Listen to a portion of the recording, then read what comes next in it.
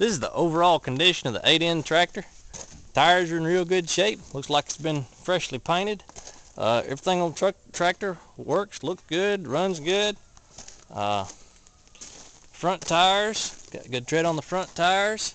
Uh, it's got a very, very small uh, exhaust leak there, but ain't no big deal. Tractor runs good, everything about that. Uh, that's what the tractor looks like. Steering's pretty good. This tire over here is pretty good. Uh, it's got a brand new alternator on it, brand new starter on it. Uh, so it's been converted from the original generator to uh, run off alternator.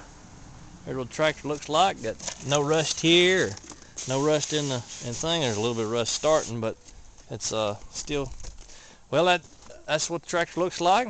This tire here is pretty good. There's the only thing about the tra tractor that's wrong. You need to get you a new. See this ball right here in the three-point hitch? It's there's the one over here is missing but just get your new and put in there you'll be good to go. It's got a three-point hitch hookup on it it's got a PTO and top link goes with it. Uh, so that's what it looks like. You got any questions just email